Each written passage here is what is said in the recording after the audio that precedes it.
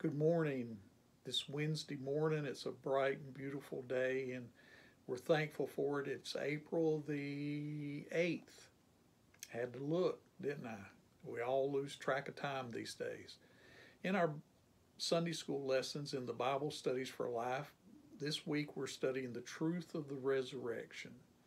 You know, this is uh, Passion Week, and we mentioned that earlier in the week and we're heading toward the death and burial of Jesus as we think on these things and study God's Word. And Sunday morning, Easter Sunday, the resurrection. So here's some thoughts about the truth of the resurrection from this Bible study.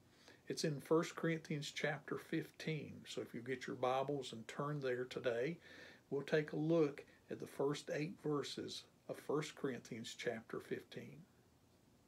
In verse 1, there's a need to proclaim the gospel.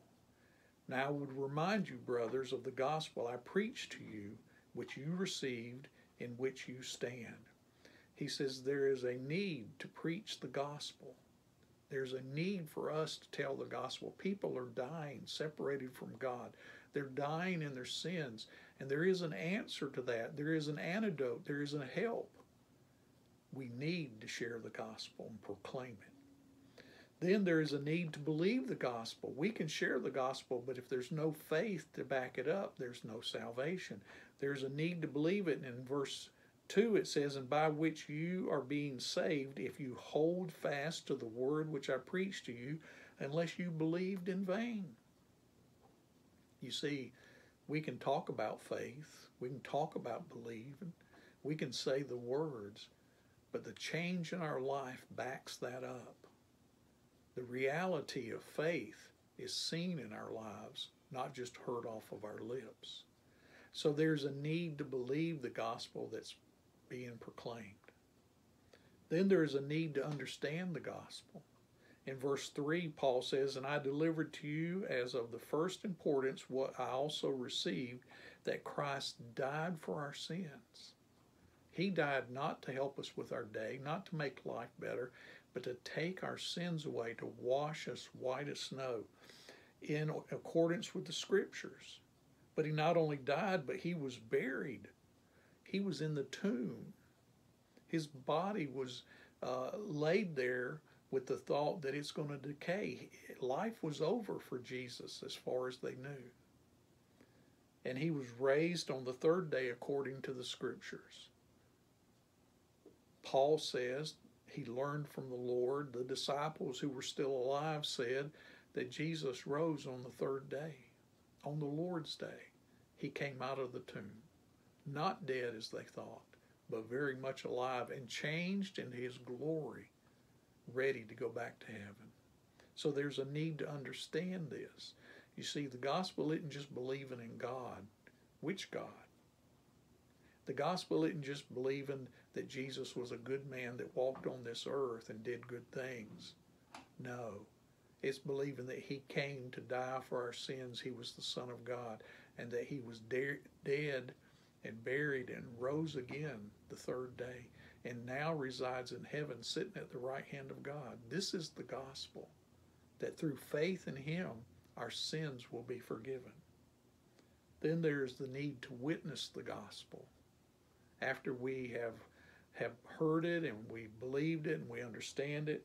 It says in verse 5 and that he appeared to Cephas then and to the twelve. Then he appeared to more than 500 brothers at one time, most of whom are still alive, though some have fallen asleep. Then he appeared to James and then to all the apostles. And last of all, as one untimely born, he appeared also to me. Paul is saying, Jesus appeared to all these people. There is evidence of him. They witnessed this, they shared this with us. How did Paul find out that he appeared to 500 brothers at one time? He heard the news. People were talking about it. They didn't talk about the gladiator games and whether uh, the Romans were winning or the Jews were winning in the gladiator. They didn't talk about anything. They talked about Jesus coming back to life. They talked about the wonder of it. They weren't interested in football or baseball or basketball or this movie or that movie. They were interested in the awesomeness of Jesus Christ, God's Son, and his resurrection. And they talked about it among themselves. And Paul says, as one untimely born, he appeared to me. I was saved in the 11th grade when I was in high school. Been to church off and on all my life. Heard, heard the good news, but without faith. But in the 11th grade, I gave my life to Jesus and put my faith and trust in Him. Untimely born. I, I didn't see Jesus walk on this earth. That wasn't my time. But He still appeared to me in 1971 in Huntsville, Alabama. Jesus appeared to me in spirit, speaking to my heart and drawing me to salvation. He's still appearing to people today, not visually, but the Holy Spirit draws them and woos them unto Himself as He works salvation in their lives.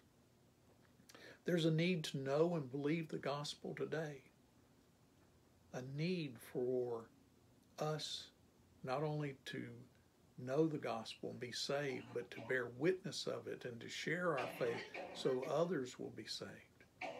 This is the truth of the resurrection that the gospel brings salvation, and with salvation, a hope of our resurrection one day to be with Him forever and ever. Enjoy the truth of the resurrection. Enjoy sharing the gospel and be blessed today.